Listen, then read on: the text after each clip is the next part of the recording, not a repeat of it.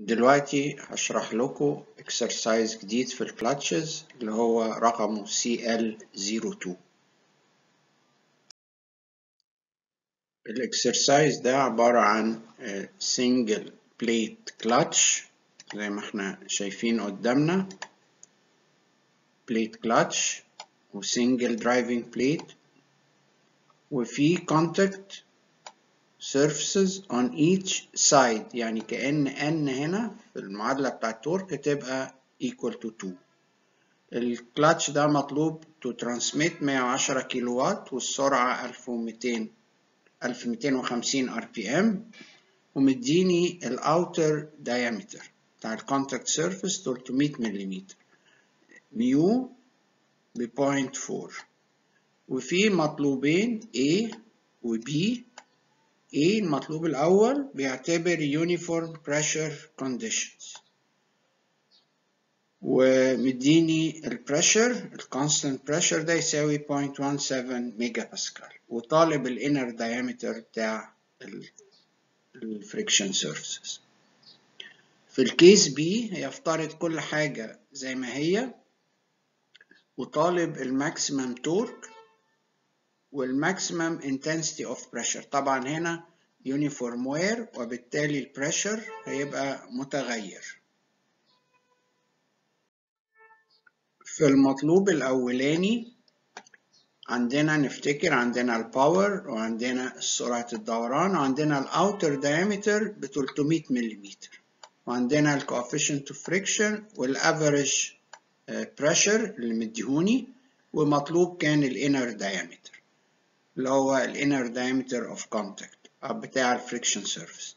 عندنا معادلة ال torque بنطبقها بنطلع ال torque اللي بينقله الكلتش أهو بيطلع أدي القيمة بتاعته قدامنا.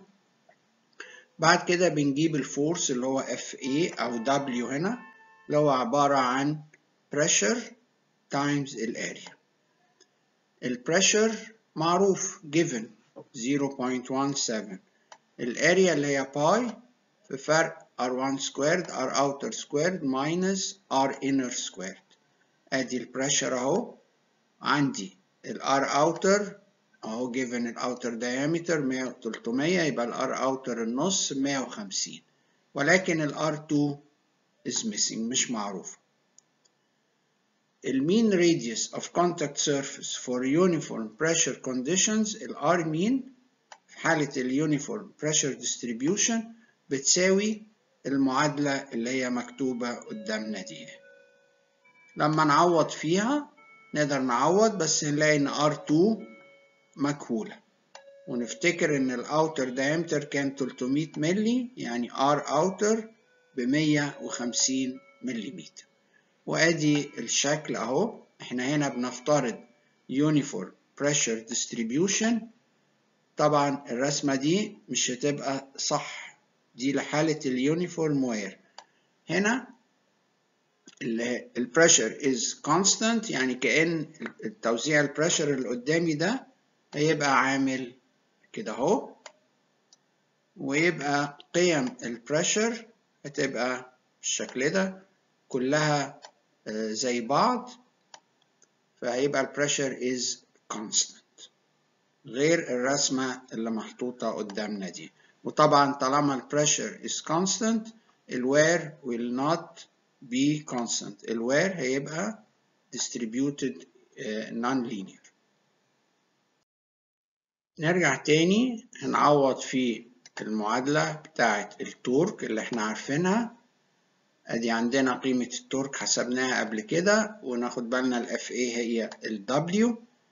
ال N ده given two contact surfaces.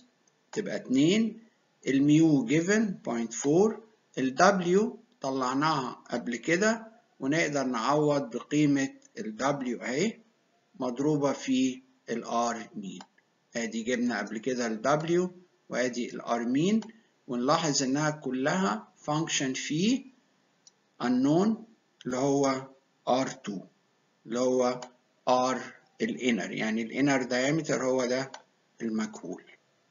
طيب لو خدنا المعادلة اللي قدامنا دي وعوضنا فيها هنلاقي في النهاية هنقدر نوصل إلى الديامتر أهو طلع 150 ملم يبقى الإنر diameter اللي كان مطلوب طلع 150 ملم ونفتكر إن الأوتر كان 300 ملم وكل ده under uniform pressure distribution يعني ال pressure اللي هو قيمته. 0.17 نيوتن per millimeter square is constant all over ال friction area طيب دلوقتي الجزء الثاني اللي هو uniform wear distribution كان طالب ال maximum torque transmitted ال maximum torque transmitted ده قيمته هي هي في أي condition فكانت عندي المعادلة أهي اللي هي أدي ال FA أو ال W ودي كانت من ال equation اللي قبل كده وال equation اللي قبل كده كانت بتقول إن W pressure في area وكانت بتساوي القيمة اللي قدامنا دي. هنحط القيمة دي وبعد ما عرفنا إن ال inner diameter فاكرين طلعنا ال inner diameter كان 150 فيبقى نصه هو 75 وده كان ال R maximum ودي ال R minimum أو ال R outer وال R inner. ومن هنا نعوض هيطلع لي ال axial force. لو عرفنا ال axial force اللي هو طالع بالرقم ده أهو هنيجي نقول بقى في ال uniform wear conditions ال R mean قيمتها إيه؟ ال R outer plus ال R inner نجمعهم ونقسم على اتنين. يطلع لي ال R mean اهي ادي القيمة بتاعتها. نيجي نعوض عشان نجيب ال maximum torque transmitted ادي المعادلة اهي.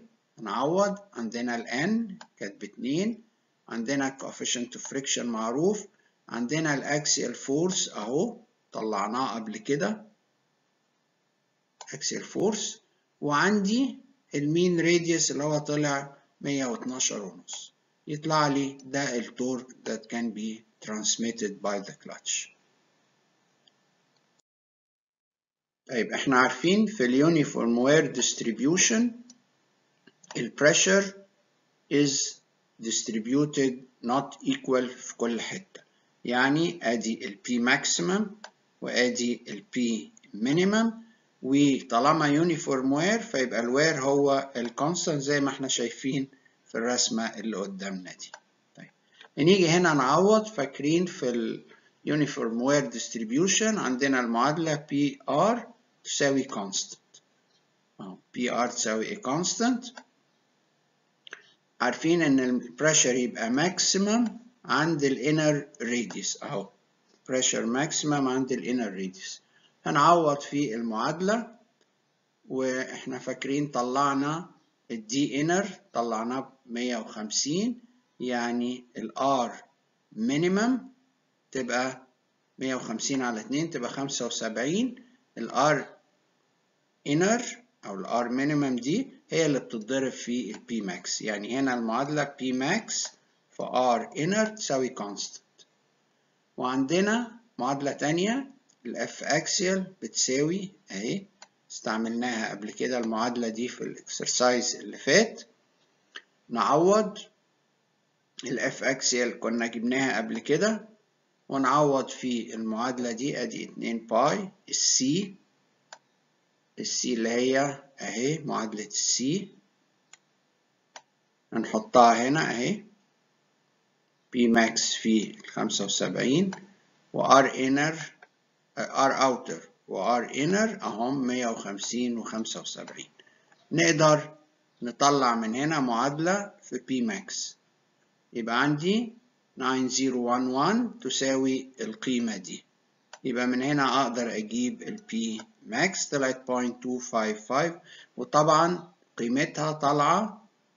لو نفتكر دي كانت ال P average كانت 0.17 طلعت ال P max طبعا هتطلع أكتر من ال 0.17 لو عايز أجيب ال P minimum برضو أقدر أجيبها باستخدام العلاقة دي اللي هي بقى هقول إن P minimum في R max تساوي constant. نفس الفكرة.